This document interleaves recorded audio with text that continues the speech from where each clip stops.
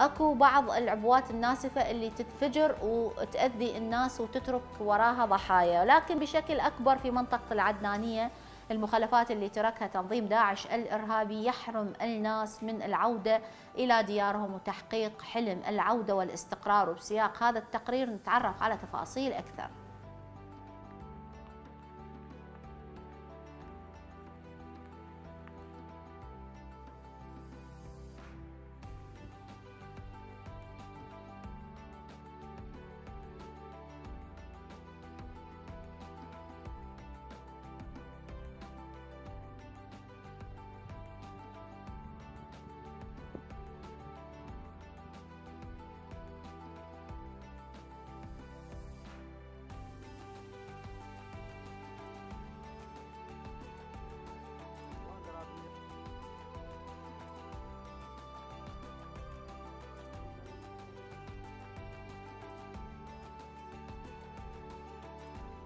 أكو مقبرة بيتنا ونحن مقاومة من داعش ونريد وما أريد دولة ما يجي يشيل من بيتنا. آه، نريد دولة منظمة يساعدنا. هالمجمع هذا يسويها ويطلع من من بيتنا.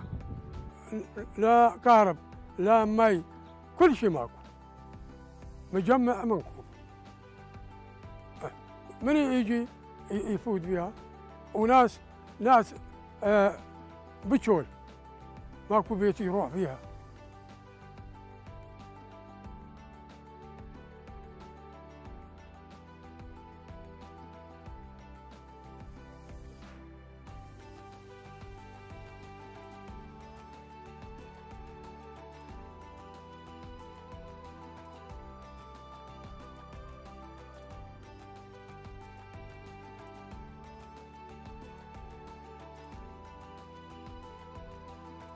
بصراحة هناك تقصير كبير تجاه مجمع العدنانية.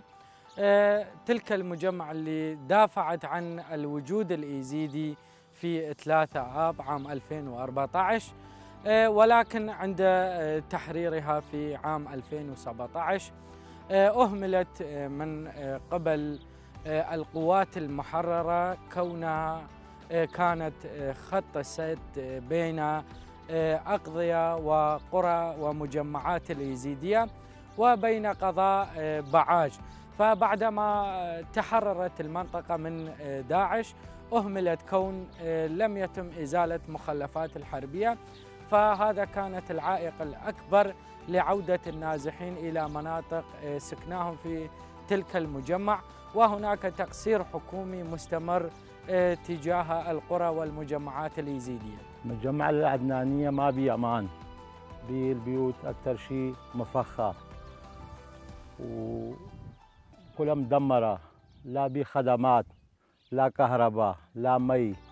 ما حد يقدر يرجع العدنانية. وحد الآن ولا واحد ما راجع العدنانية. وأتمنى يعني أي منظمات الإنسانية حكومة المركزية